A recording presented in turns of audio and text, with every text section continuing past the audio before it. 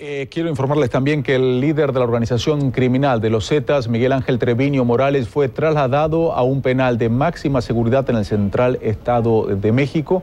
Arias el Z40 fue llevado en un helicóptero de la Armada. Treviño quedó a disposición de un juez federal y deberá rendir su declaración preparatoria en la prisión. Tras ese paso quedará definida su situación jurídica en los plazos que establece la ley. Alias 740 enfrenta siete órdenes de aprehensión por delitos como delincuencia organizada, homicidio, narcotráfico y también lavado de dinero.